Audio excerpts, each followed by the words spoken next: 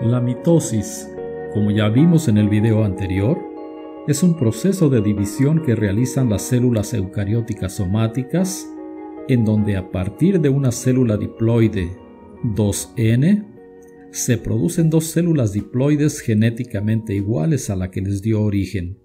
La función de la mitosis es sustituir células muertas y formar tejidos.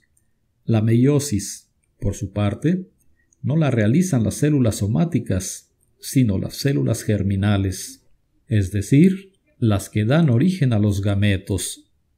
En este caso, por cada célula germinal diploide 2N, se producen cuatro células haploides N, cada una con diferente carga genética. La meiosis se lleva a cabo en todos los organismos eucariontes que se reproducen sexualmente y su finalidad es crear nuevos organismos a través de la fecundación.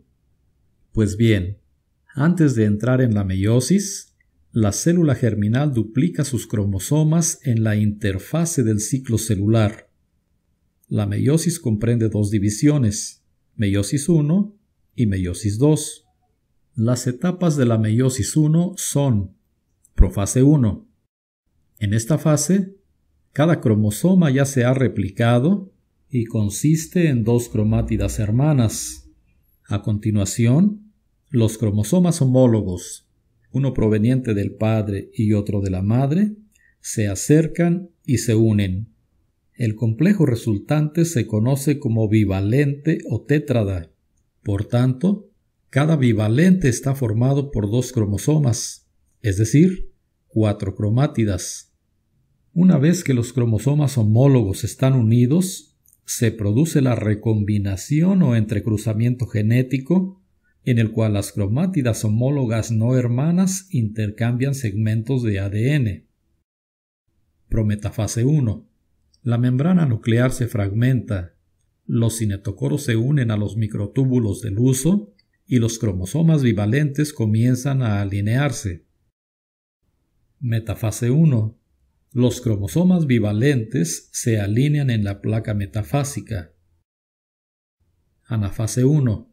Los dos cromosomas homólogos que forman el bivalente son separados por los cinetocoros y remolcados hacia centrosomas opuestos. Cada cromosoma está formado todavía por dos cromátidas. Telofase 1. Los microtúbulos del uso se dispersan y alrededor de cada conjunto cromosómico se forma una membrana nuclear. Los cromosomas se desempacan y los nucleosomas se extienden parcialmente. Citocinesis 1. La célula se divide en dos.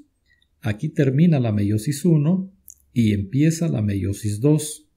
Las dos células resultantes de la meiosis 1 realizan, cada una, la meiosis 2, la cual es muy fácil de comprender, pues es idéntica a la mitosis. En la profase 2, los cromosomas se compactan y los centrosomas organizan los microtúbulos del uso. En la prometafase y la metafase 2, los cromosomas se alinean en la placa metafásica. En la anafase 2, los cinetocoros separan a las cromátidas hermanas y las llevan hacia polos opuestos. Ahora cada cromosoma posee una sola cromátida.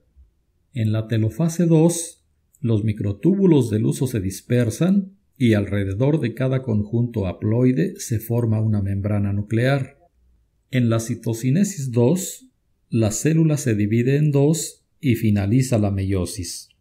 Así, la meiosis termina al dividirse por segunda vez la célula en dos y haberse formado las cuatro células haploides genéticamente diferentes, las cuales al madurar darán origen a los gametos, es decir, óvulos y espermatozoides.